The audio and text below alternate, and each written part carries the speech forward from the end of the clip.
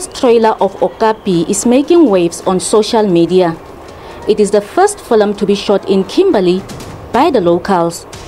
Initially, it was a stage play, but the local youth felt it deserves a wider audience.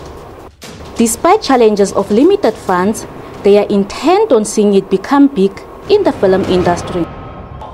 The, the movie was supposed to have uh, uh, uh, premiered in January, then it was supposed to have premiered again in February, and then now it's going to be premiering in, in, in, in in, in March. It is because of those challenges you get to, to, to people making a commitment to avail funding at a certain time, and by the time that uh, you, you get to that point, the, fund is, the funds are not availed yet, and we work with time frames. Now we're trying to accommodate these people because we understand that a very good product, uh, a quality product, rely on, on, on, resources, and we need those resources. And because we are independent filmmakers, we need to be funded these things from, from private sector, from government, and when they not meet their deadlines according to their promises, we have to shift our date date, our dates back.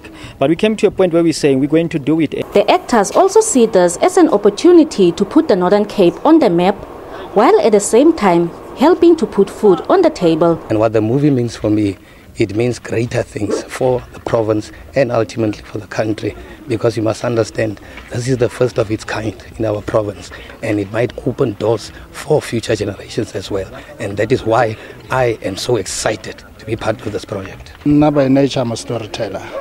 Uh, I've been telling a lot of stories, but I've been doing this on stage.